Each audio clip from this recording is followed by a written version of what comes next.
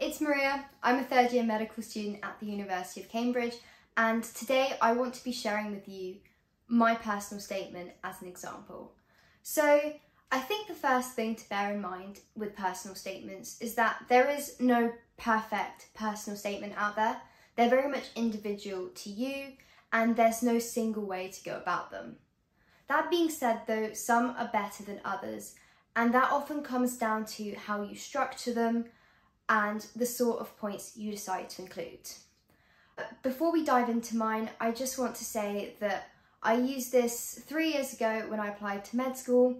So I applied to four universities for medicine, since there's a limit to how many you can apply to, and um, one non-medical university. So I applied to the University of Cambridge, Imperial College London, the University of Glasgow and the University of Birmingham.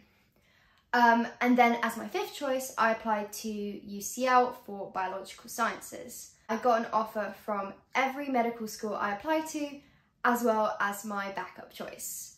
Um, so let's delve in straight into it. At a glance, you can tell that my personal statement isn't very long. They're really strict about this. It's only 47 lines. So the part I'm highlighting here is my introduction. This should convey your motivation for why you want to study the course. This is especially important for medicine. It doesn't have to be a really profound reason, but it has to be personal to you. The next section is from my work experience. As you're going to see, I talk a lot about my work experiences, which I think is really useful because it shows that you have a clear idea of what medicine is actually like.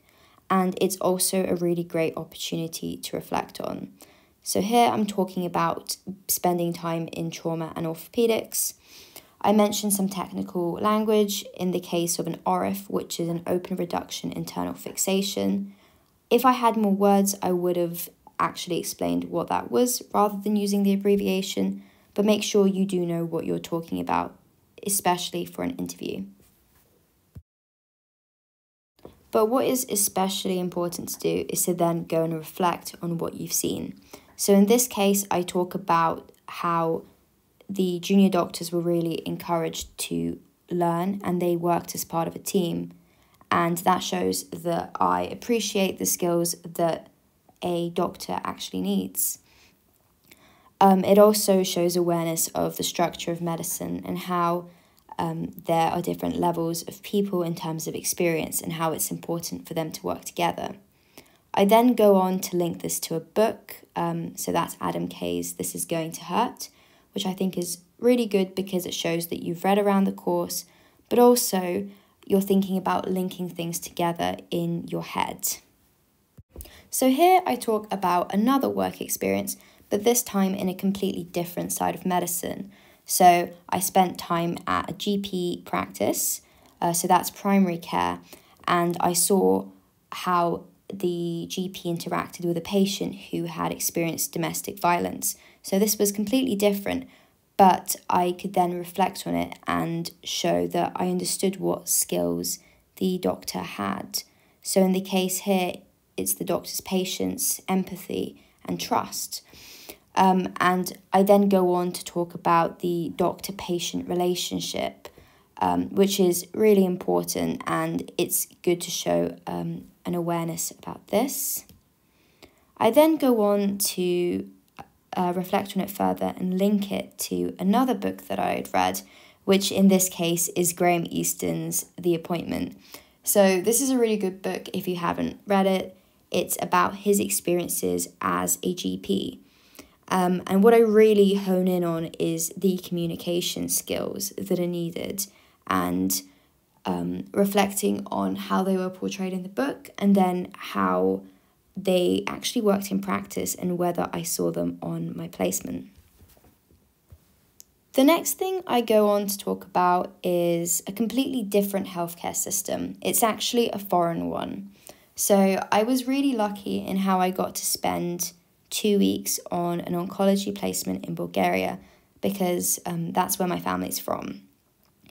And so I compared um, the practice here compared to abroad.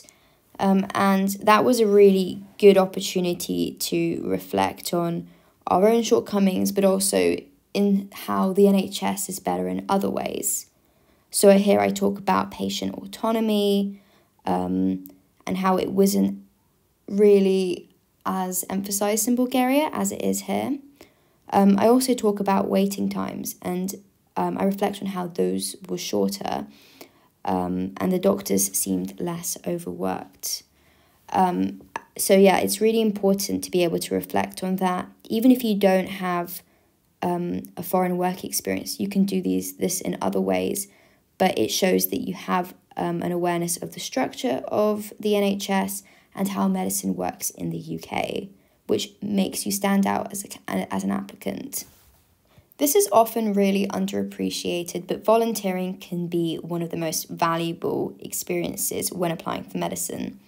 So, here I talk about how I spent time at a care home over the course of six months, um, and I would uh, get involved in looking after the patients, talking to them, and also helping with feeding. Um, and it shows that I have an awareness of how to interact with patients, some of them who had dementia, um, and the skills that I also gained from that experience. The next section is really a bit of a way to link the previous section to the next one. So um, it's also used as an opportunity to showcase my knowledge of how the healthcare system works and the main problems that we are dealing with at the moment um, but overall, it's it's just genuinely to link things so it doesn't seem as clunky. It's slightly ironic talking about the potential for a pandemic about a year and a half before the pandemic actually hit, but you know, we move, um, still a bit odd. so, the next thing is about the essay competitions that I entered over the course of sixth form. This is very much a personal section. It depends on what you've done. Um, if you've done something that's quite cool, definitely worth mentioning, even if it's not super related to what you want to do. As long as you can reflect on it and explain that you've developed skills in the process and somehow link it to your degree, it's definitely worth talking about.